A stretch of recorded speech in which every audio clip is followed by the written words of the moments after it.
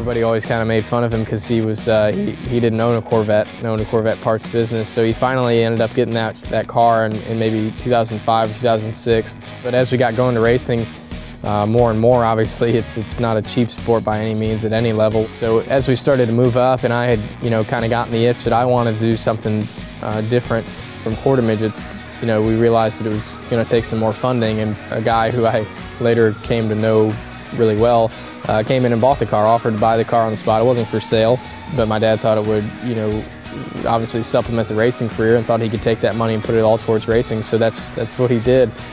My kind of goal all along was to buy that car back for him um, and, and, give it to him as a, as a birthday present or a Christmas present. He didn't like getting presents, but uh, it was it was going to be the one that uh, that I could give to him that I knew he would really like. So uh, I had finally kind of gotten to that point. Unfortunately, he'd gotten sick, but um, you know, to be able to still track the guy down uh, and find the car, and, and then you know, uh, was just really special. Uh, you know, I had a lot of good memories. We, we, we took it on a lot of trips, and to sit in it and drive it again, and, and kind of bring back all that uh, that same atmosphere and that same feeling was just pretty neat.